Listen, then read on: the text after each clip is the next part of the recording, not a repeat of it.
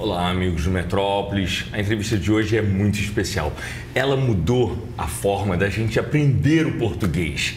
Suas aulas são incríveis, seus livros são best-seller e sua conta no Instagram é divertidíssima. É divertido aprender português com ela. E agora, não menos, ela é musa de um camarote da Sapucaí. Cíntia Chagas. Amada, arrepiei. Ai, que bom, tudo bem? Tudo maravilhoso, graças a Deus. Eu queria, eu queria que, antes de mais nada, você se apresentasse, contasse um pouco da sua história e como você conseguiu ficar famosa dando aulas de português. É quase um milagre, né? É. Nesse país. Aliás, neste país, porque estamos nele, então devemos falar Ah, neste. é diferente neste e nesse. Sim, no caso de localização, então eu falo neste país. Sim, conforme eu dizia, Nossa, neste eu não país. sabia disso, mas vamos embora. Bem, é, como que eu consegui isso? Eu primeiro fui demitida dez vezes. Dez. Eu trabalhei em 13 pré-vestibulares, cursinhos de Belo Horizonte, preparatórios para concursos públicos ou para vestibular. É, fui demitida de 10, um era meu e o outro quebrou. Ou seja, só uma insti- instituição de ensino não me demitiu na vida. e por que, que eu era demitida? Porque eu fazia da sala de aula um palco. Eu sempre atrelei o ensino à, à diversão, ao, ao lúdico, ao cômico. Eu não sou aquela professora que resolveu dar aula única e exclusivamente por amor à língua portuguesa, à comunicação. Eu resolvi dar aula também pelo amor ao palco. E eu queria dar aula do meu jeito. E, obviamente, eu era demitida, porque eu era funcionária. Mas por quê? As pessoas se incomodavam? Sim, sim. Eu colocava 200 alunos em pé dançando funk da crase, que eu criava. Ah, entendi. Isso, entendi. né, não sei porquê. Em al- Algumas instituições não gostavam disso, apesar de os, de os pais, de os alunos adorarem. E, aí, num determinado momento, eu, eu, aí eu criei meu cursinho, porque eu era demitida toda hora, eu criei meu pré-vestibular em Belo Horizonte e só que não bastou para mim. Eu quis aparecer mais, porque eu sou uma pessoa muito aparecida mesmo, eu, eu, gosto, eu admito. Então eu criei um aulão na balada. O que, que era o aulão na balada? Eu, eu tinha mais ou menos 100 alunos no meu pré-vestibular, cada um poderia levar um amiguinho e eu fechava baladas com maúdes. Pode falar nome aqui? Pode. Com maúdes, como o Na Mata Café, já houve Na Mata Café aqui em São Paulo também. Isso eu fazia em BH. E aí eu colocava os alunos lá, eu mandei fazer um quadro enorme, um quadro de, de, de professor, né? Aquele quadro branco. E eu ia vestida a caráter e fazia uma senhora revisão de umas quatro horas para os alunos. Havia hostess, havia DJ, só não havia álcool. Isso não. Claro que e, Enfim, aí E era durante o dia. é- já foi, já foi no sábado, já foi no domingo, Perfeito. já fiz à tarde, já fiz à noite. E eu fazia aquilo não só para me divertir, mas também Hum. para entrar na mídia. Eu sempre quis me tornar uma professora midiática. Perfeito. Em quem eu me espelhei? No Pasquale. Eu lembro No dele. Pasquale, exato. Ele, ele era é, é da época da TV. Era É, de, de TV Cultura, seu TV Cultura, né? sim, sim, e, sim. E ele... Professor Pasquale. professor Pasquale. Eu olhava para o Pasquale e falava, gente, eu também quero fazer algo semelhante. Legal. E eis que eu. Gente, que coisa. Em 2015, o, o aulão na balada foi capa do G1. Eu contratei uma assessoria de imprensa, porque até então, né, gente? Ah, então você já era visionária. é, a pessoa, no início, eu acho, eu tinha uma autoestima tão grande que eu achava, a, coitada de mim, gente, a mineira lá de BH não entendia nada de como que as coisas funcionavam. Eu falava, não, gente, eu sou maravilhosa, olha o que eu tô fazendo. A mídia virá atrás de mim como se alguém fosse me descobrir, sabe? Um sonho dourado, maravilhoso, enfim. Até que eu fiz vários aulões na balada e nada acontecia. Paralelamente a isso, eu, eu no Instagram, quer dizer, eu já vou falar do Instagram, porque aí eu comecei no Instagram em 2015 também. Já havia Profissionalmente. o, o movimento, o advento da internet. Sim. E aí eu contratei uma, uma assessoria de imprensa e essa assessora de imprensa me levou primeiro ao programa da Eliana por causa do meu Instagram, do que eu fazia lá, de uma personagem que eu criei. E na sequência ela conseguiu o, da, o jornal da Globo, da, na época do William Vac, isso. Uhum. E a matéria ficou tão legal, mas tão legal, foi super extensa, porque não era um cursinho fazendo isso, era uma professora. O meu cursinho levava o meu nome, Cintia uhum. Chagas, Língua Portuguesa. Uhum. E eu ia vestida a caráter, Perfeito. com uma maquiagem que eu não uso, que eu sou muito básica, uma maquiagem forte. muito forte, uma roupa bem chamativa. Totalmente diferente do que to você é. Totalmente diferente. E eu fazia esses aulões sem cobrar nada, porque eu sabia que se eu cobrasse, a mídia talvez não. Né? Eu quis agradar a mídia. Perfeito. Isso tudo da minha cabeça. Mas você foi, fez o movimento certo. Isso. Você não podia transformar aquilo em alguma rentabilidade não. que, que ia afugentar as matérias, Isso. as matérias viscerais, normais, é, e, né? e, orgânicas. E, e, na hora, e eu que escrevia no início o meu próprio release. Eu que ligava, fulano, por acaso você é amigo do diretor de não sei o que, de tal emissora? Nossa, eu, fi, eu, fiz isso muito durante anos. E aí eu conseguia matérias locais, nas emissoras locais. Até que eu falei, gente, eu tô dando murro em ponta de faca. Então eu contratei uma assessoria e aí ficou tão legal a matéria foi na, numa quinta-noite, que na se, no Jornal da Globo com Elian Vac, que na sexta eu fui capa do G1, em 2015. E na sequência eu fui ao Danilo Gentili. No que eu fui ao Danilo Gentili, a minha vida se transformou, porque foi de fato uh, uh, uh, um divisor de águas. E aí eu consegui quintuplicar o valor que eu cobrava no meu pré-vestibular. Foi maravilhoso. E tudo isso ainda nas aulas presenciais tudo isso, a sua fonte de renda era presencial. Sim. Paralelamente a isso, eu criei um Instagram. Eu não esqueço esse dia, é muito legal essa história. Eu queria fazer algo diferente. E aí eu, eu procurei um, um, videomaker que naquela, naquela época não havia a quantidade de, de, produtores de conteúdo, não havia isso. O Instagram no feed tinha 15 segundos. Eu era do Snapchat, eu fazia snaps. E aí eu, eu fui atrás de um, de um videomaker e falei com ele: é o seguinte, eu, eu quero fazer um vídeo, tipo Ruth e Raquel, as gêmeas. Hum. Qual que era a novela, gente? Ruth é, é Mulheres de Areia. Mulheres de Areia. Aí eu falei: você conhece e Raquel? Ele falou: conheço. Eu falei: então serei eu de um lado, vestida de, de adolescente. A adolescente se chamava Duda e ela não suportava erro de português. Era uma adolescente, adolescente politicamente não suportava. Não suportava. Ah. Super nerd, politicamente? politicamente incorreta, chamava todo mundo de burro, de idiota, brigava ah. com a mãe e tal. E aí do outro lado da tela, primeiro ele me gravava de um lado, depois ele me gravava do outro, era eu, estava eu vestida de mãe da, da, personagem, de peguete da personagem e tal. E em 15 segundos, a, a, a, mãe falava, por exemplo, Duda, vai comprar 200 gramas de mussarela? Aí a Duda respondia, ai mãe, ou oh, 200 gramas, velho, 200 gramas, eu, me, eu detesto minha vida, todo mundo fala errado nessa casa, ai que saco, vou comprar. E acabava o vídeo aí. E aí eu fui fazendo, fui fazendo. Aí eu vi. então, aliás, tô falando muito aí, viu, gente? Não pode, professora de oratória, tô errada. Ent... Que eu tô nervosa, Léo Dias, você me Calma. entende. Você me entende. Enfim.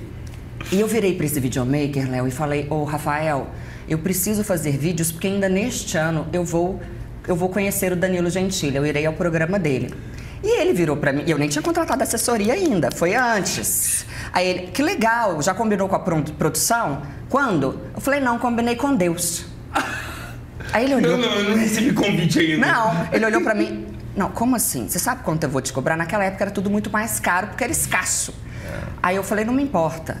Eu sei que eu já combinei com Deus e ainda neste ano, no ano de 2015, eu estarei no Danilo Gentili.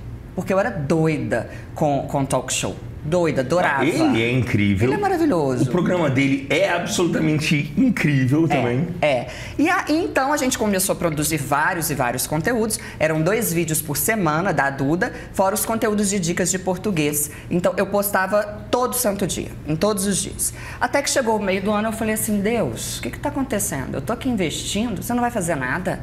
E cadê sua parte? Eu conversava assim com Deus. Cadê sua parte? Você não vai fazer e tal. E aí eu tive a ideia, como se fosse uma grande ideia, de contratar uma assessora de imprensa. Essa assessora de imprensa, que era daqui de São Paulo, me levou ao programa da Eliana, Uhum. Me levou o programa da Eliana. Mas era um quadro. Famosos da internet. Ah, que não tá, tinha tá. nada a ver com o meu trabalho. Perfeito. Porque eram vídeos que viralizavam. Só que eu fiquei tanto, tanto, tanto. O meu era educativo. Mas eu fiquei tanto no pé dessa pessoa que ela falou: olha, eu vou arrumar alguma coisa para essa menina para ver se ela para de me encher a paciência. Da assessora, no pé da assessora. Sim, da assessora. Tá. E lá na Eliana. Lá na Eliana, a história, gente, quando eu cheguei lá, foi, foi muito engraçado. É, o SBT foi me buscar e eu estava num hotel aqui, você pensa naquela mineira que não conhece nada, que nunca participou né, de, de nada. De um programa de um de, programa nacional, relevante assim. E eu tinha um amigo que trabalhava em, em uma outra emissora e, e, eu fui almoçar com ele no dia anterior. E aí eu falei, ô Darlan, então eu vou ao, ao programa da Eliana, no quadro Famosos, Famosos da Internet. Ele olhou para mim e falou assim: você pirou? Eu falei, mas qual que é o problema, gente? Porque, Cíntia, você é uma professora, dê seu respeito. O quadro Famosos da Internet é, de, é um quadro de vídeos caseiros que viralizaram, não faz o menor sentido. Essa ambição sua por estar na mídia, pelo amor de Deus, tá, tá passando do limite. Aí eu, mas o que, que vai acontecer lá? Ele é tipo banheira do Gugu. Gente, gente, gente, foi a primeira vez na vida exagero. Né? que eu tive, é exagero, é, que eu tive uma, eu acho que aquilo é síndrome do pânico. Eu não sei. Eu sei que eu tava sozinha no hotel que, que, o, que o SBT pagou para mim e começou a me dar uma palpitação e eu suava, suava, suava, tremia, tremia, tremia, enfim. No dia seguinte, lá vai a Cintia pro SBT, horas e horas e horas antes. Na hora que eu entro na van, aí várias pessoas que eram os participantes do, do quadro. quadro. Aí eu, eu todo humilde, eu falei, e o senhor? O senhor, o senhor vai por quê? Ah, eu, eu, eu viralizei com um vídeo que eu sou caminhoneiro e tal. Eu falei, ah, legal. Aí o outro, eu falei, e o senhor? Eu sou. Era um anão. Aí eu falei, o que, que o senhor faz? Aí ele, quer ver? Eu falei, quero. Aí ele fez assim e a língua dele chegava até aqui. Aí eu falei, gente do céu, gente do céu, é o meu fim, porque, né, gente, vocês estão me entendendo o que, que eu quero dizer? Não, não dá pra você colocar educação claro. com esse tipo de entretenimento, Sim. né? Ah, aliás, é entrete entretenimento é, é entretenimento ou entretenimento? Tem gente que fala entretenimento. É entrete... Não, entretenimento? Entretenimento ou entretenimento. Eu não sabia desse. Eu só, só falava entretenimento. Isso, pode ser entretenimento ou entretenimento. Eu sabia. Desculpa, é meu furor pedagógico. Não, Quando depois eu, vou, eu, eu quero saber outras dúvidas que eu tenho tá. aqui. Mas vamos lá. Aí entrou na Aí, van, gente, chegou, não, é... chegou, percebeu que havia várias... É, eu, e o outro? Ah, eu sou dançarino do Axé Moá. Eu desço, desço, desço, desço. eu falei, meu Deus do céu, é, é hoje. É hoje. Aí na hora que eu cheguei lá, eu, eu, eu, eu tinha na minha bolsa um remédio chamado Ocadil. Que isso? É um calmante. Ah, tá. Você exagerou no calmante. Aí eu tomei um, não fez efeito. Aí eu tomei o segundo, gente. Eu falei, ah, meu Deus do céu, é hoje, eu vai, eu racho isso aqui. Aí liguei pra assessora, eu falei, o que, que eu faço? Olha onde que você me colocou. Eu sou uma professora, uma educadora, eu não poderia estar aqui. E, obviamente, eu não ia falar, não vou entrar mais, claro eu tenho compromisso. Claro. Aí ela falou, faz o seguinte, na hora que você entrar, é ao vivo você precisa falar que o seu cursinho é o que mais bomba em Belo Horizonte, que você não tem vaga, uh, que que você vai falar do seu Instagram. Eu, com muito custo, tinha 8 mil seguidores na época. Uhum. Isso era outubro de 2015. Era... Eu comecei em janeiro de 2015. Mas já era relevante 8 mil seguidores. Já era alguma coisa. É, é, é. E aí, então, então ó, fale que o seu cursinho é o que mais bomba. Fale o seu Instagram. E a produção falou, não pode falar. Fale o seu Instagram. Eu falei, deixa eu te falar. São pessoas mais humildes. Se eu, se eu chegar lá e falar, nossa, meu cursinho é o máximo, eu tô bombando, meu Instagram não sei o quê. Sou arrogante. Vai parecer arrogante. Ela é simples. Fale a palavra Deus três vezes. Aí eu, como assim? É, em nome de Deus, graças a Deus, põe Deus no meio. Eu falei, meu Deus. Essa história é ótima. Aí eu falei, tá. E aí tá, aí beleza, chegou a hora de entrar no palco. Colocaram os, os participantes numa fila assim, todo mundo de frente para a câmera. E aí veio a produção. Seguinte, todo mundo rindo, todo mundo rindo e dançando. E eu já não tava. Ah, você também? Eu também. Ai, eu também. Olha o que, que eu passei para chegar até aqui, filho de Deus. Olha o que, que eu passei. Aí, aí eu falei, tá, então eu vou. Aí eu fiquei lá. E aí eu já tava, ó, doidinha com calmante. Não estava acostumada a tomar. Aí eu, eu tô assim, meu Deus, e agora? O que, que eu vou fazer da minha vida? Socorro. Já sei. Vou, vou começar a falar tudo para eu não esquecer. Aí eu fiquei assim, Deus três vezes, Deus três vezes. Meu Instagram, arroba Cintia Chagas com dois S no fim. Arroba Cintia Chagas com dois S no fim. Meu cursinho bomba. Deus três vezes, arroba Cintia Chagas com dois S no fim. Deus três Aí a Eliana me chamou. Então, Cintia, de onde surgiu, surgiu a Duda? Aí eu, tô aqui em nome da educação, porque Deus é muito bom, três vezes, tá? E, e o meu cursinho que mais bom é meu Instagram, arroba Cintia Chagas com dois S no fim. Foi assim mesmo? mais ou menos, eu tô sendo um pouco mais cômica. Exagerada. Tô exagerando pra fazer graça, mas Ah. foi basicamente, eu não esqueço o olhar da Da Eliana. Eliana, Não De esqueço. dúvida, de... de- Alguém falou algo no ponto dela. Aí ela. Então vamos ver o vídeo da Cíntia! e aí começaram a passar várias cenas da personagem, da Duda e tal. Ela me deu parabéns. Eu saí do palco, por Deus, que eu não estou exagerando. Eu saí do palco e sentei no chão. Mentira. Sentei no chão que eu já tava tontinha do remédio. Aí a Eliana olhou pra mim e fez assim. O que, que ela quis dizer? Te colocaram numa fria. Nitidamente não era pra você estar aqui. E aí eu saí do palco, liguei pra assessora, que nem foi lá, e falei com ela, falei, é o seguinte, agora você me coloca no Danilo. Boa. Porque ela falou que eu tinha de participar antes de um programa de Do SBT. isso, pra chegar ao Danilo. E aí eu fiz o aulão na balada e, aí, e ela conseguiu então o. E o destaque no G1, o destaque É, no Jornal é, da Globo, do William é, Vac. Tudo isso também levou, levou Isso. você ao, ao, ao- Danilo. E então eu continuei com a, o Instagram. Ah. Meu cursinho bombou, dois anos de fila de espera. Até que. E eu fui produzindo, produzindo, produzindo conteúdo, até que em 2019 eu abri o meu primeiro curso online. Ou seja, foram quatro anos produzindo conteúdo gratuito, vivendo só do curso presencial. Perfeito. Então, quando eu vi que eu lancei o meu primeiro curso e ele bombou, o que eu ganhei no- com o meu primeiro curso, eu conseguiria viver por um ou dois anos com facilidade. Ah, é? E aí eu falei, a mina tá aqui. A mina de dinheiro tá é aqui. E com muita dor no coração, Você abandona as aulas presenciais. foi ó, até engolir. Na oratória a gente fala isso, você não pode engolir que as pessoas vão perceber. Ah, é? É, você tem que tomar É, cuidado. porque ela dá aula de oratória também. É, e não eu pode ficar quero- mexendo no cabelo igual eu tô mexendo, não. Tem Mas é que eu tô com o Léo? Dias. Tem, não pode. Você não pode mexer muito no seu cabelo. A gesti- gesticular é pontuar as palavras com as mãos. Então você deve ser sempre leve. Você Você não. vai falar isso pra mim? É, aqui, gente, eu não tô numa palestra, nem ele. Então eu tô à vontade, eu mexo no cabelo, eu falo, eu falo várias coisas, né? E as minhas expressões, às vezes, traduzem o que eu tô sentindo, sabe? Sempre traduzem. Mas isso é ruim? Pro- para o seu caso, não. Tá. Porque você trabalha com. com você não é um palestrante, Perfeito. você é um entrevistador. Eu preciso transmitir verdade. Exato. Quanto E as mais. emoções. Exato. Porque às vezes vem perguntas que são é, difíceis de responder. E você pode virar o olho, né? Você não pode virar o olho. É, é isso. Você não pode, obviamente, transparecer antipatia pelo seu. É. Sim, mas é Sou interessante a naturalidade. No seu caso, porque, vamos supor, nós como espectadores, nós vemos talvez o- a sua ansiedade, Uhum. o seu nervosismo, isso pode ter um lado bom. O que, que, o Pode. Di- que, que o Léo Dias vai falar? Meu Deus do céu. E a- talvez. depende muito do contexto. Entendi, Tudo é contexto. perfeito. Talvez um, um. Isso que você está fazendo aqui agora, sabe? Uma, uma respiração mais, mais ofegante. Perfeito. Talvez isso seja muito benéfico para você.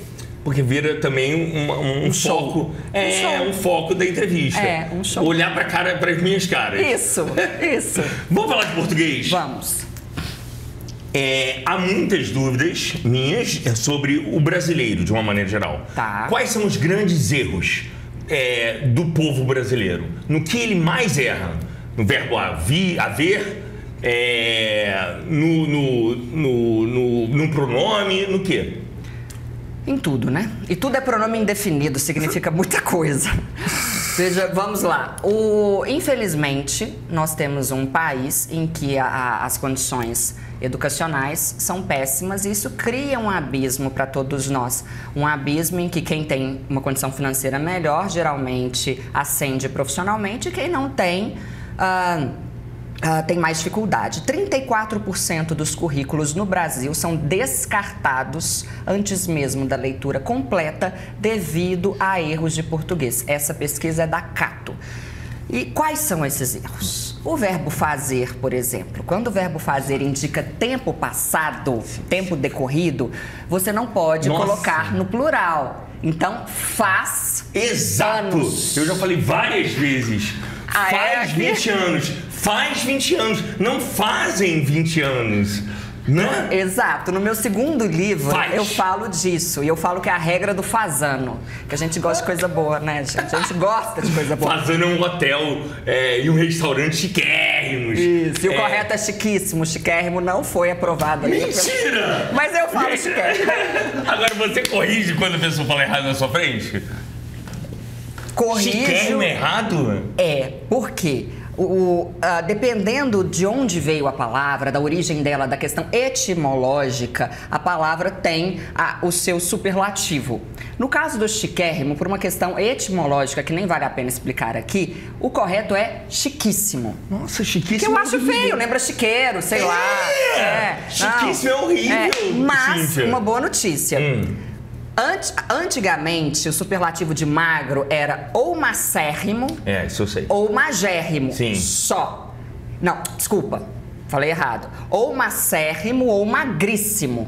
Mas já se aceita, tanto que você Magérrimo. falou. É. Entende? Então, na minha opinião, não vai demorar muito. Hum. O chiquérrimo, assim como o, o, o magérrimo, será, será aceito. Então, assim, é, o, o, o chiquérrimo é, é, é o que se torna popular de uma tal maneira Sim. e a língua acaba cedendo. Sim, que foi o que ocorreu, a gente vai voltar ao fazano, tá? Que eu não esqueci. Tá. Que foi o que ocorreu com champanhe. Por exemplo, a palavra champanhe, é- ela é, É uma região- masculina e designa um vinho espumante Ah, tá. produzido na região de Champagne. Por É. ser o vinho, é o champanhe, masculino. Mas falamos a, a champanhe, a champanhe, a champanhe, a champanhe, a champanhe. Que aceita-se. Sim, Ok. Voltando ao faz anos. Tá. Aí eu brinco que é a regra do fazano. Eu adoro os restaurantes fazanos. Os fazanos É são lindos. Então é só se lembrar. Faz anos, assim como existe o restaurante fazano. E- eu inventei isso e o haver? O verbo haver, ele, no sentido de existir, ele não vai para o plural. Então, houve muitos problemas. Isso dói o meu ouvido. Esse aí é um dos, campe... um dos campeões. É, não, mas esse também. Né? Mas eu corri, esse eu, esse eu corrijo todo mundo. É no, é, é no infinitivo, houve. houve problemas, ah, haverá problemas. Haverá. E no caso. Não existe haverão problemas. Está Não. errado. Errado. Errado. Errado. Haverão, não. Não, haver- haverá problemas. Ah, simplesmente por quê? Porque para, que- para que o verbo vá para o plural é preciso que haja um sujeito. E não tem um sujeito. E Também não vale a pena explicar isso É, aqui, porque aí já é vamos- aula. É vamos- melhor decorar. É. Haverá problemas. E não haverão problemas. E o verbo haver também é campeão de erro no que diz, diz respeito ao passado. Porque as pessoas falam há 10 anos atrás. E não é há 10 anos atrás, porque há já indica passado. Ou você diz há 10 anos, esse A com H, ou 10 anos atrás. Aí as pessoas perguntam: e se eu puser um A sem H? É erro de português. isso. Claro! O é sempre. É, quando fala-se do passado, isso eu corrijo direto com os meus repórteres. Isso Falo, não, mesmo. querido, é A com H, é passado. Outra coisa, eu ouço demais, isso dói meu ouvido. Quer que eu faça? Quer que eu faça, não, amor, é quer que eu faça. É. Quer que eu vá. É. Né? É, quando- Quer que eu vou, não. Isso. Quer que eu vá. Isso. Quer que, quer que eu li. Quer que Quer que eu ligo? É. Quer que eu ligo? Não. Aí, Quer que ó. eu ligue? É. É, é só a gente pensar Mas na gente- conjugação. Que eu ligue, que tu ligues, que ele ligue, que nós liguemos, que vós ligueis, que eles liguem. Aí uma coisa boa pra pessoa entender é que quando tem o que na É frente, isso. vai ser sempre com a, com a letra do primeiro. Então, que eu liguei. Aí que tu ligues vai ser com, com o é. Que eu ligue, que tu ligues, que ele ligue, que nós liguemos, que vós ligueis, que eles liguem. É, mas tem uma coisa que eu acho assim, quando isso não há uma crítica a ninguém é, específico, mas quando o ambiente é, de todo mundo em casa fala errado, se todo mundo falava quer que eu ligo, vai não- não- minha professora, tinha uma professora que dizia que todo mundo nasce com um sininho aqui atrás, que o sininho toca quando você ouve uma palavra errada. É, e esse sininho não toca quando você quando você vive num ambiente que já fala errado e acha que tá certo. Você não acha? Com certeza, nós somos produtos Do meio. do meio, né? E, foi Aris- Aristóteles que disse, se não me engano, que uh, nós somos a soma das pessoas com as quais nós convivemos. Boa. Por isso que é interessante que nós convivamos com pessoas que querem ascender, que querem edificar, que querem, que queiram, que queiram melhorar, que queiram algo a mais. Até você pega com, às vezes. O tempo inteiro, eu vivo me corrigindo. É isso. Então, assim, português é uma língua muito difícil. Porque é, é o seguinte, eu também aprendi isso nas aulas de espanhol, que é uma diferença brutal. O espanhol a gente escreve como fala, uhum. o português não. Muito, a gente escreve de uma maneira e fala de outra maneira. Muito bem pensado. E essa é a grande causa de as pessoas acharem o português difícil. Porque quando você começa a, a falar, você vira para sua mãe e fala: Mãe, me dá água. Me dá. Ou me dê. Beleza. E aí, no seu processo de aprendizagem, da escrita e tal, você aprende que não se inicia a frase com pronome oblíquo átono. E aí você aprende que é de-me. E aí você aprende que esse me é um pronome oblíquo átono e que, tem, e que é o pronome é. oblíquo tônico. Você não pode começar uma frase e com tal. E aí você fala, eu não sei nada. Matemática é muito mais fácil. Pra que isso? Exatamente. Que chatice. Não é? é? É isso que ocorre com as pessoas. E onde que vem o pulo do gato para o professor? O pulo do gato vem em tentar retirar essas nomenclaturas no meu curso Jabá. No meu curso Fale Direito Brasil online. É, Fale Direito Brasil Fale online. Direito Brasil. Tá. É, eu ensino, o que, que eu fiz? Eu peguei a gramática e elenquei as, os conteúdos dos quais todos nós necessitamos. Então, uso do porquê, uso da vírgula, uso da crase, uso do este, do esse, do aquele, aquele do dia a dia. E, eu, e, e quando eu dou aula, quer dizer, já está gravado, né? Mas durante a gravação do curso, eu procurei colocar poucos nomes técnicos. Então, por exemplo, eu vou ensinar que o vocativo é sempre virgulado. Agora a pessoa está olhando, o que é vocativo? Quem que é essa louca? Você vai entender. Seguinte, como que você chama... Você está namorando? Não. não. Tá. Mas quando você está namorando, como você chama o seu namorado? Bem, amor. Amor. Amor. Então tá. Amor. amor é a palavra que você usa para chamar a pessoa. Há, há, mulheres que, que usam o, o paixão. Sim. Né? Há mulheres ou homens que usam bem, parece até uma cabra. Bem, vem cá, bem.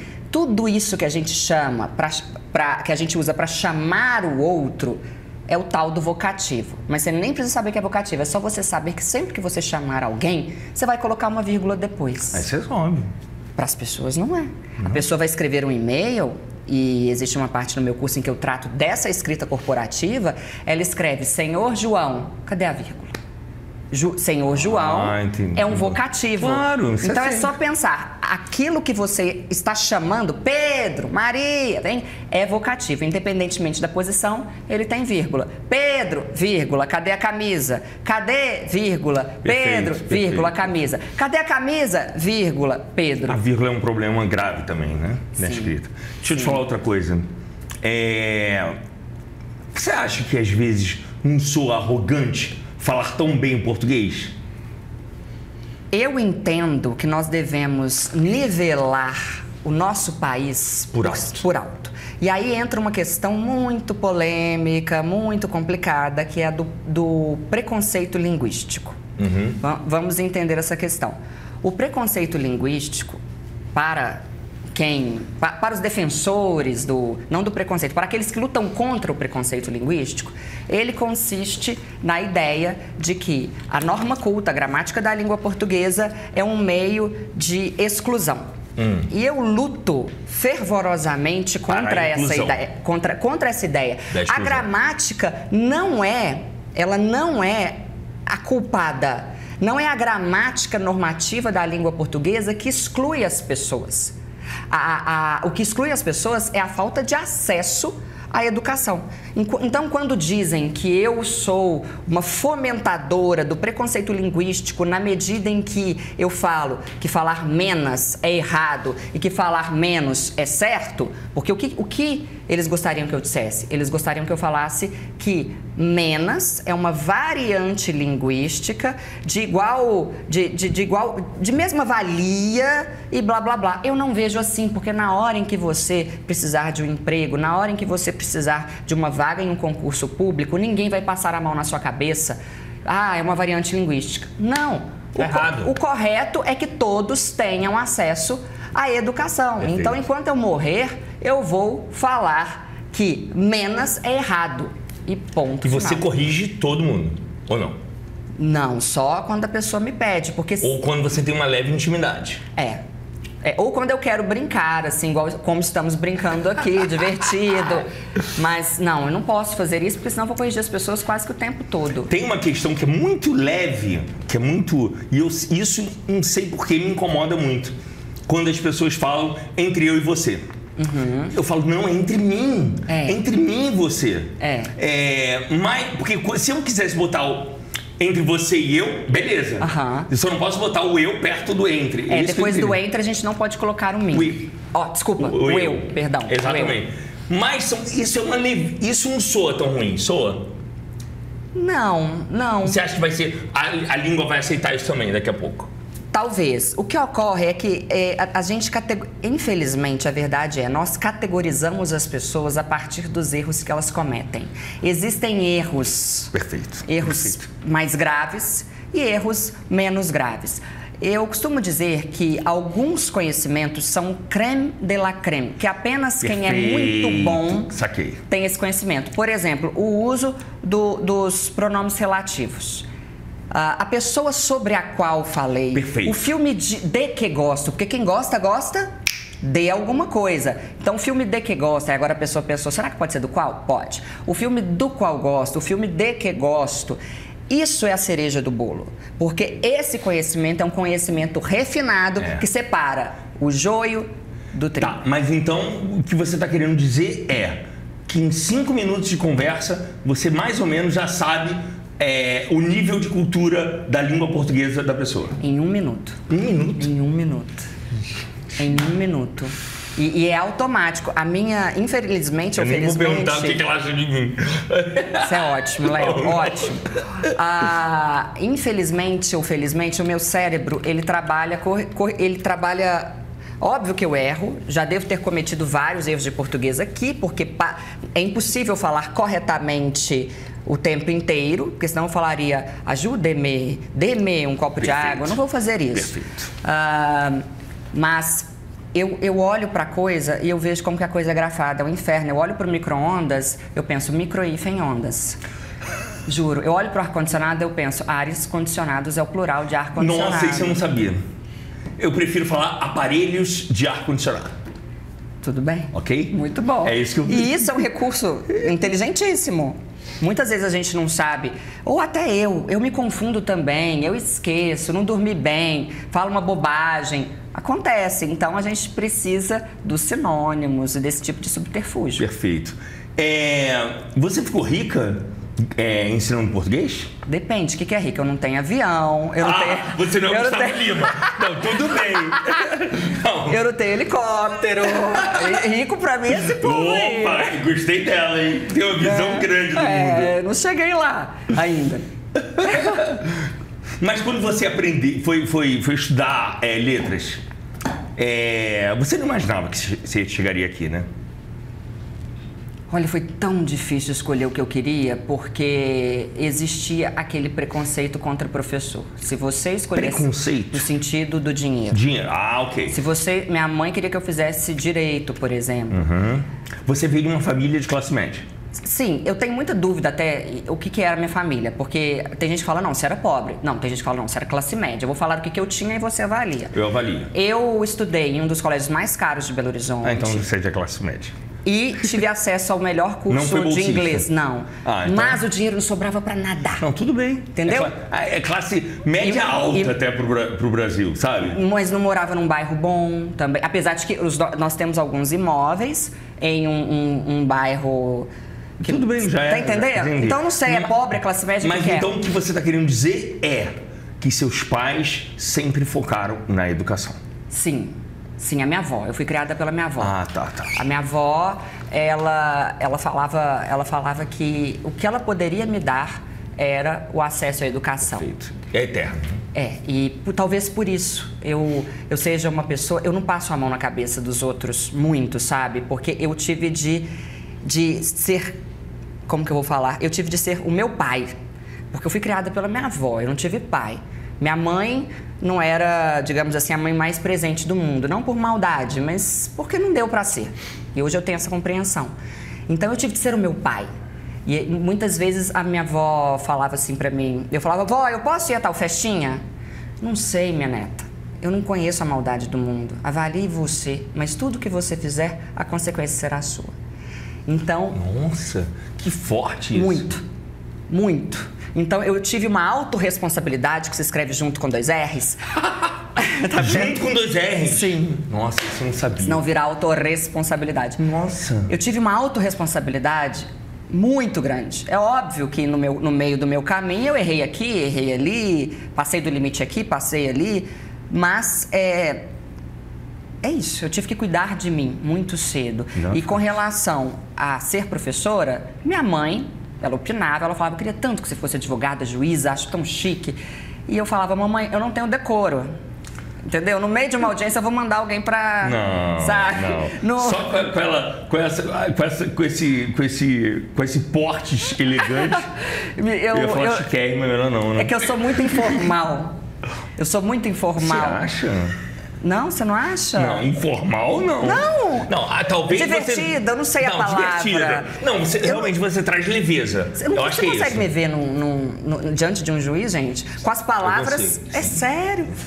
Eu consigo. Com as palavras, sim. Com a oratória, sim. Mas dentro de mim eu nunca seria feliz. Não? Ah, feliz. É, talvez seja isso. Tá. Enfim, e quando eu resolvi fazer. Primeiro eu fiz relações públicas, hum. um semestre, passei até em primeiro lugar. Que seria ótimo, então. Sim, só que uma tia minha me influenciava muito. Ela falou: você não vai dar em nada. Relações públicas? O que, que, é isso? Que, que, que, profissão que é essa? E, de fato, no, no, eu fiz um semestre, eu só ia bem em língua portuguesa. Ah. Eu não ia bem no restante, eu não tinha interesse pela, pela, pela empresa. Blá, blá, e desisti e passei na UFMG em letras. Aí, quando eu escolhi letras, a única coisa que eu sabia é que eu seria dona, porque eu sou muito insubordinada. Eu, eu, não consigo obedecer com facilidade. Então, então eu sabia que eu seria empresária de alguma forma. Uhum. E acabou ocorrendo, mas para chegar a esse caminho eu precisei ser demitida dez vezes, né? É importante um chute na bunda, né? Mas é maravilhoso, maravilhoso. Ontem um amigo meu foi demitido, antes de ontem. Ele até iria ao, ao camarote e achei tão bonito da parte dele. Ele falou: Cíntia, professor, de lá das antigas. Ele falou: Cíntia, eu fui demitido ontem.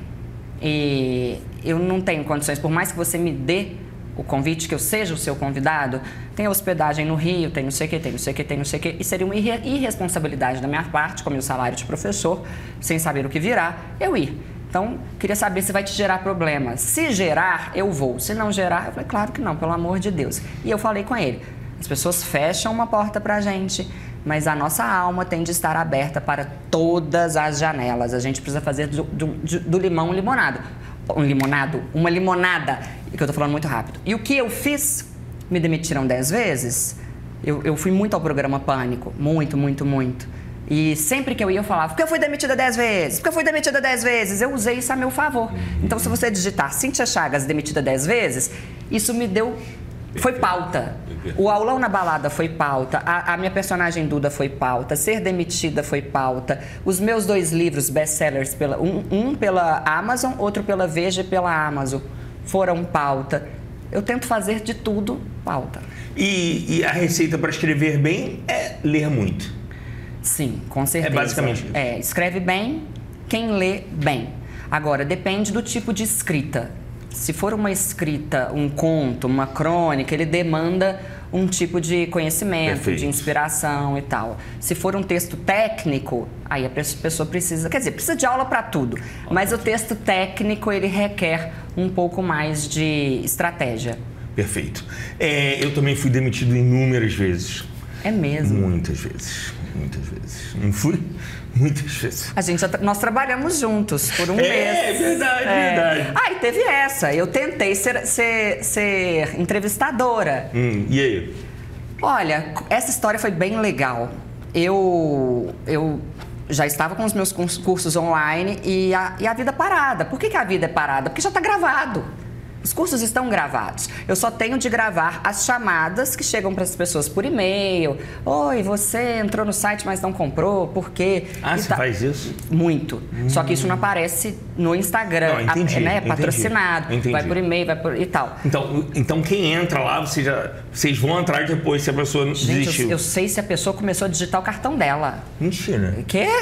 sei de isso? tudo. Aí eu tenho vários vídeos. Você, empresário, você vai continuar falando mal? Conte pra mim. Não é possível. O português, a oratória fazem parte da vida de um empresário. Aí eu faço isso para empresário, eu faço isso para dona de casa, para secretária, para todo mundo. Eu, eu trabalho com isso. Eu gravo vídeos uma vez por mês, uns 50 vídeos que chegam para essas pessoas. Só que isso não ocupa tanto tempo. E aí eu resolvi ir atrás do meu grande sonho. Você é inquieta, né? Muito. Muito. Mas qual que é o meu grande sonho? O grande. O que me deixaria. O que faria de mim a pessoa mais feliz, feliz do mundo. Só que eu acho que é um sonho que não dá, pra, não dá mais pra ser sonhado. Ah. Eu queria ser a Hebe. Você tá entendendo? Mas Você tá é- entendendo? Os sonhos é que são os que, o- que nos impulsionam. Mas meu sonho é muito no 1990. É muito, muito. Entendeu? Eu, eu queria entrar, sabe o que eu queria? Léo? Eu queria entrar assim, ó. Aí, aí eu dou a mão pra um, dou a mão pra outro e vou Não, descendo não. aquele, aquele, aquela Mas eu acho que escadaria. você pode fazer isso no camarote número um. É. Agora, porque assim, os sonhos têm que se adequar aos meios. Exato. Então, assim, é, a gente tem que entender o que, que o mundo mudou. Exato. Aí que eu fui ser, que eu tentei ser entrevistadora. O que que eu fiz? Ah. Foi- comecei com Collor. Collor de Mello? É. Não, não conhecia, tá? Tenho, a relação que eu tinha com Collor Ah, eu vi sua entrevista com o Temer. com Temer. O Uhum. que que eu fiz? No fim de 2020, no meio de 2020, sei lá, saiu uma matéria sobre o Collor na Veja. É, e dizia que o Collor estava tentando entrar no, no Instagram, blá blá blá, e, e ter ali uma. um número bacana de seguidores. Eu olhei para aquilo e falei, bem, na época eu tinha uns 300 mil seguidores, eu acho. Eu falei, tá bom, mandei um direct pra ele. O não eu já tenho, né? Aí eu falei, ô presidente, tudo bem? E a gente chama de presidente. Ô, presidente, tudo bem e tal? É, é, você sempre fala do seu português, que é um português maravilhoso. O Collor se destaca pelo vocabulário. O Temer se destaca pela sintaxe, pela construção da frase. Impressionante. É, será que você não faria uma. O senhor não faria uma live comigo e tal? E ele, político? Hahaha, claro. E aí, eu esperei mais um mês, cobrei de novo. E aquela coisa que você já sabe como que é que você também Difícil. faz. Difícil. Até que eu fui dar uma entrevista num jornal à tarde, ao vivo, sobre a língua portuguesa. E aí me perguntaram quem é o político com o melhor português no país. Eu olhei para a câmera e falei: um dos políticos com o melhor português do país é, é Fernando Collor de Mello, que inclusive está me devendo uma live. Não é verdade, presidente? Fiz isso. E aí, Chegou ele? não, Não? ele não viu. Aí eu, eu filmei, postei e marquei. Aí ele, tá bom, Cíntia, que dia?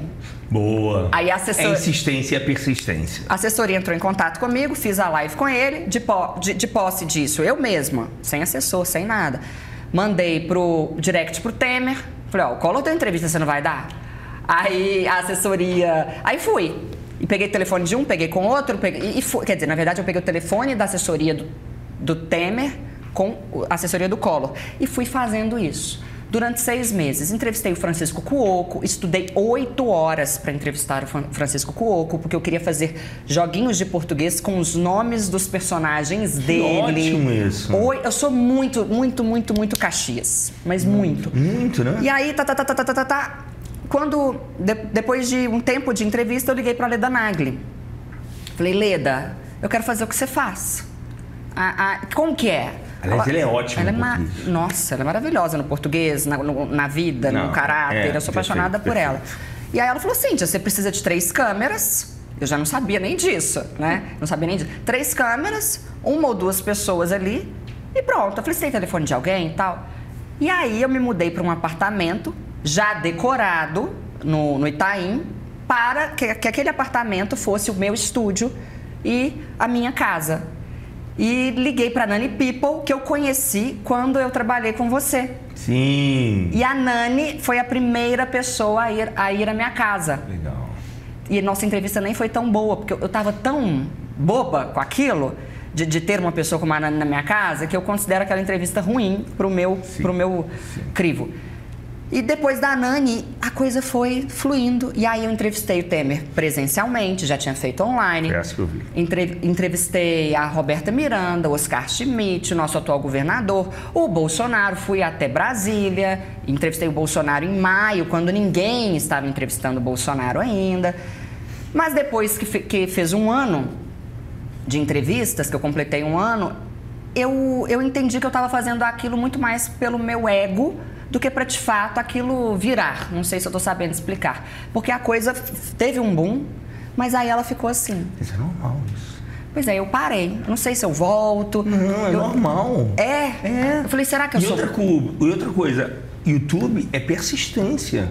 É Pois é. persistência. Você, já, você já deve ter adquirido, obviamente, um, seu- um público fiel, que é ele que você que- tem, que, tem que agradar e tem que se prestar para gravar entrevistas. Porque assim, não faz sentido. Se você entrevistou nomes incríveis, É, sabe? é. Quando a Roberta Você Miranda entrou na minha casa, pessoas eu gostariam passei mal. também, pessoas legais, importantes, gostariam de ser entrevistadas nesse tom de, de, de aula por você? É incrível. Então, repense. Vou repensar. É isso. É que, que a gente está acostumado ao boom. É, Então, calma. é, exato. A gente quer Que é adrenalina. adrenalina. É isso. isso. aí na hora que a adrenalina baixou. Calma. Não, a adrenalina vai baixar. Vai baixar, sempre. Então, daqui a pouco vai ter uma outra coisa que você pode conjugar. Eu sou a favor, e por conta das minhas muitas demissões, eu sempre estabeleci na minha vida um plano A, um plano B e um plano C. Eu tenho sempre um plano A, um plano B. Muito De- bem. Entendeu? Porque eu não Entendi. vou ser servo de um só senhor. Então, Maravilhoso. é, eu, eu, eu dou, e daqui a pouco o plano B vira A, o C vira D. Verdade. Você tá entendendo? Verdade. Você tá É, entendendo? tô. Porque pra gente não. Pra, pra você não se sentir ociosa, sabe? Sim. É, em algum determinado momento faça várias coisas e faça bem todas as coisas e o B vai virar assim. Mas, ah, não tá podendo marcar entrevista, mas vai, vai no teu ritmo. Entenda? Entendo. Não, não exclua nada. Então, gente, Brasil, é o seguinte, já que voltarei a fazer entrevistas, Léo Dias será a minha Ai, volta. ó, mas não- vai nem fazer teste de português comigo, não, hein? Não, mas eu não, não falo de português. Não? Não, nessas entrevistas Eu achei eu sempre falei de vida. Ah, tá. Sempre de vida. É, eu sempre fui a infância da pessoa. Ah, eu gosto disso. Sabe? Então, Você vai se surpreender com a minha infância. Pois é. Vai surpreender muito. Tá vendo, hein, Brasil? Tá prometendo aqui, ó. Você não vai cortar essa parte. Não, não vou contar não. Vamos falar do camarote número um? Sim. Como assim? Como assim? Nem eu. Já- gente, eu tô suada. Tá, tá dando pra Quer, ver? quer beber uma aguinha? Eu quero, pode. Por favor, uma água. Deixa eu te falar, camarote número um, um dos camarotes mais. É o primeiro, é o grande camarote da Sapucaí. É o número um, por ser o número um. O, ele criou essa forma. Vocês se lembram dessa época, não? Eu, não, eu fui, eu já fui ao camarote número Mas, um, mas na época, que era. Brahma. Não, eu- quando eu fui já era número um.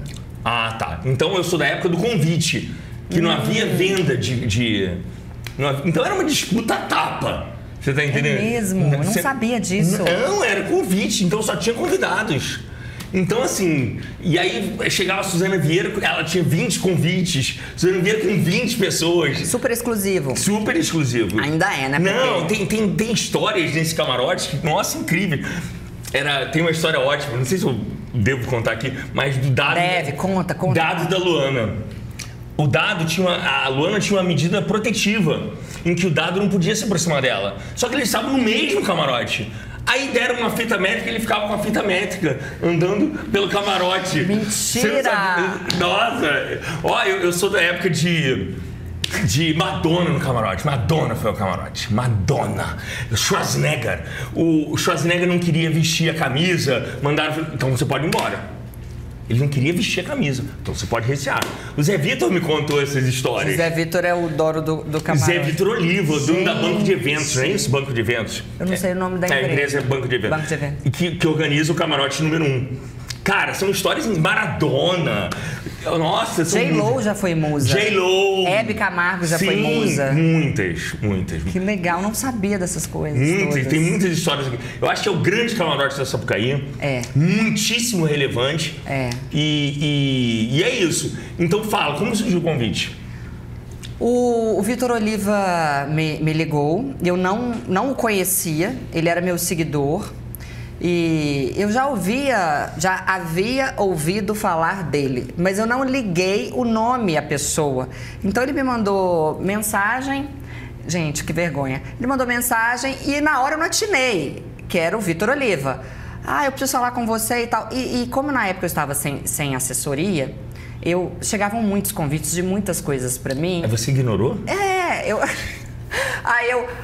E eu vi, aí ele insistiu e eu falei, tá, você pode me ligar depois do almoço? Aí eu fui pra academia, malhei, treinei. Só o Zé Vitor Oliva. É, aí, aí, aí ele me ligou, ainda tava almoçando, aí eu deixei o telefone tocar. Aí, é, então respondi, estou almoçando, já retorno. Eu não, eu, não, eu não liguei o nome à pessoa. Aí na hora que eu liguei, tudo, ele muito educado, tudo Muito. bem e tal, muito. Aí ele, no meio da conversa, assim, ele, você não sabe quem que eu sou, né? Eu falei, me perdoe, não. Cíntia, você se lembra da Gal Gallery e Sim. tal, da, né, da balada, da boate lembra? dele? Me- obviamente só de nome. É, não, é, eu Né, também. é- Mas a Gallery foi, foi a boate É. de São Paulo. É. É, aí eu, eu falei, aí na hora eu gelei, eu falei, meu Deus do céu, agora eu entendi com quem que eu tô falando. Aí eu, pois não.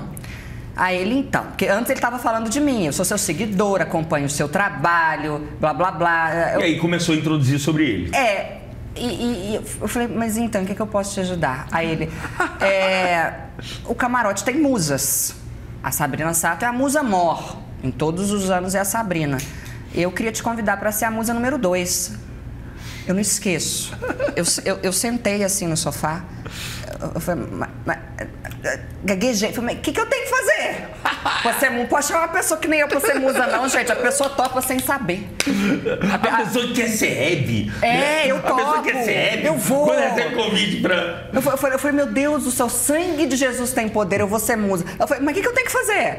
Aí, Tem que malhar? É, eu já pensei, whey protein, é, é, vou- será que eu vou tomar um uma coisa, né? O que, que eu vou tomar? Tomo- Enfim, ele, você tem que ser você. Eu falei, mas isso tá muito subjetivo.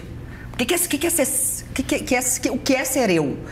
Aí ele, Cíntia, eu, eh, fui eu que, que dei a ideia, a minha mulher já aprovou, vo- foi unanimidade, todo mundo gostou, porque você é muito, muito, muito inteligente, Perfeito. muito comunicativa, você tem um poder de comunicação que nem Perfeito. você sabe. Perfeito. Aí eu, ah, é?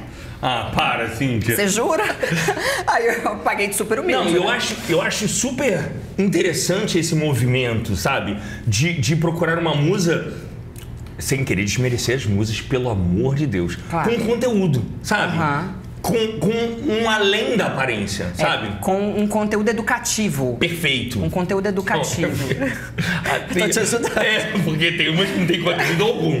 Mas você tem conteúdo educativo além Eu tô calada, vocês estão vendo. Não, eu, tô, eu tô generalizando Ah, é. erroneamente. É, eu, e na hora eu falei, eu falei, gente, mas eu tenho, eu tenho de fazer o que eu tenho de sambar. Ele falou, não, fica calma. Daqui a dois meses eu vou entrar em contato com você. Foi, não pode fazer isso comigo, gente, eu sou ansiosa, sou ansiosa. Ah, dois Daqui a meses? dois meses você vai jantar na minha casa. Você vai lá, você vai conhecer a minha mulher. Se você estiver namorando, sei lá o que, leve o namorado e tal. E aí eu vou te falar os, os primeiros passos. Então eu me senti numa, sei lá, numa série, num- num- numa coisa assim de suspense. Daqui a dois meses você, Você receberá a senha. Sei. E você não pode falar com ninguém, não, não faça Não, não ninguém podia informar. falar com as pessoas. Eu comecei a gritar. Aí a, a moça que trabalhava lá em casa, ela soube.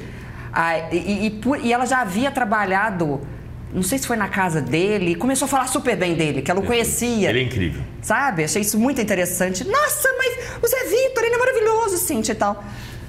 E fui ao jantar na casa dele, ele me explicou melhor, falou dos looks e blá blá blá. E depois aí conheci a Tati, a Tati Oliva, que é a mulher dele, ela tá sendo uma mãe pra mim. Eu sei que é um clichê falar assim, mas é a verdade, porque eu não sou exatamente desse meio. Então, eu tive de contratar stylist, que é o Rafa Mendonça. Aí o Rafa. É o Rafa. Rafa. Ah, eu trabalhei com ele. Ele é maravilhoso, Eu né? trabalhei num programa chamado Muito Mais, da Adriana Galisteu, de muitos anos atrás da Ele Band. falou desse programa. É, eu trabalhei ele com ele. E aí o Rafa me colocou em contato com uma equipe de altíssimo padrão, uma coisa muito sofisticada, de outro mundo. E, e agora a gente, nós estamos escolhendo o look, fazendo. Ontem estávamos resolvendo o tecido do primeiro, do primeiro look. Eu estarei lá nos dias 19 e 20 até agora. É, domingo e segunda, porque são os dias que o camarote abre. Tá. O camarote, é, diferentemente de muitos ali da Sapucaí, só, só abre nos dias mais importantes da Sapucaí, que são do, do grupo especial. Aham. Domingo e segunda, 19 e 20, é isso aí? Isso. É. Agora, você é, é- é do pretinho básico. Sou. Você. Eu sou muito. Então não vai ter pretinho básico. Não, não vai. Não vai. Até porque a gente já fez uma sessão de fotos. E você foi o primeiro a dar a notícia, Sim, né? sim, você foi sim, o primeiro. sim. A gente fez uma sessão de fotos logo depois, você pegou a coisa bem quente. E na sessão de fotos, meu amor, a gente vai liberar agora pra imprensa. Sessão de fotos a lá carnaval. Que? Tô chocada. Eu me vi de um jeito como eu nunca vi. Puseram um, um aplique em mim que vai até Aplique? aqui. Tinha, É, tinha cabeça? Tinha, tinha, um, tinha um Vários, vários, amarelo, prata. Um, um, só tô ansiosa. Era um, um, um blazer, um smoking, não sei, com uma. Ai, Uma coroa. é. Reluzente. É, e cinco maquiagens diferentes. Nossa, que ótimo. Cinco looks. A gente começou no sábado passado, às nove da manhã, e nós acabamos às oito da noite. Nossa. Trabalhamos bastante. E eu adoro. né? Você sabe sambar? Bem, depende. Não, a resposta não é sambar bem. Resposta... Sei sambar. Eu tenho samba no pé. Mas eu acho que eu fico meio que. que não sei. Constrangida. Não. Ah, olha isso. Aê! Uma delas. Olha aqui, ó. Aê! Ah, faz. É, tá minha assessora aqui, É. Júlia Caldas, muito obrigada. Linda, linda. É, eu sei sambar. O samba no pé. E quando eu falo no pé, agora é literalmente. Outro erro que as pessoas cometem. A pessoa vira e fala assim: Nossa, eu literalmente enfiei o pé na jaca. Eu odeio esse literalmente. Ai, que ódio. Você pegou uma jaca eu e colocou o pé? literalmente. Não é? Literalmente é o, é o sentido real, da Real, frase. real. Então, assim, se você falou enfi- enfiei o pé na jaca literalmente, você pegou uma jaca e enfiou o pé. Exato. Você não tem como. é, entendeu? Enfiar o pé na jaca significa você ir à esbórnia, né? Sim, só não pode colocar o literalmente. Não pode colocar o pé. Então, eu. Você tem samba no pé? No pé mesmo, no pé eu sei fazer a Só, coisa. ah, só no pé. É, no pé eu sei fazer. entendi. Aí no quadril, aqui não. eu, eu acho que eu fico igual um bonecão do posto. Então, eu já tive algumas aulas, terei outras, mas eu tô com muita dificuldade aqui. Não sei se meus braços são muito longos. Eu acho que eu fico igualzinho aquele bonecão, ó. Igualzinho Tá bonecão. tendo aula de samba, não? Tô. Um pouquinho. É, tive já duas, ah, mas eu vou mudar de professora. Mas você conhece o Carnaval do Rio? Conheço. Eu fui, eu fui ao camarote número um. Ah, já vez. foi, ano já. passado? Não, há mais tempo. Tá, tá. Há mais tempo. O que, que você quer pra vida? São muitos sonhos. Você é uma pessoa que, pelo visto, é movida por, por eles, pelos sonhos. Aham. Além de ser a Hebe, qual o seu sonho? Acho que o meu sonho é ficar satisfeita. Não é ficar rica? Não é ter um helicóptero, um avião? Isso é consequência. Perfeito. Eu preciso, Léo Dias, eu preciso ficar satisfeita. Porque eu sou uma eterna insatisfeita. Ah, isso é péssimo. É. Eu sou uma eterna insatisfeita. É isso que me move. Não, exatamente isso que eu ia falar. É. Isso é bom. É. Porque tem gente. Eu não conseguiria, por exemplo, trabalhar na mesma empresa e na mesma função por 30 anos. Nem eu.